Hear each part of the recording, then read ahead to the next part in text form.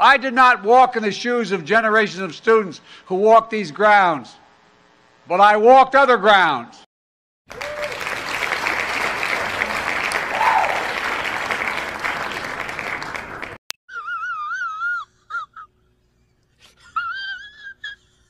Because I'm so damn old, I was there as well.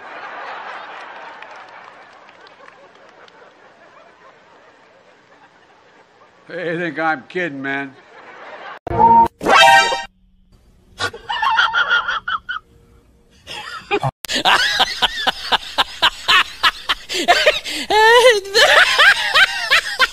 the first time I got arrested. Anyway.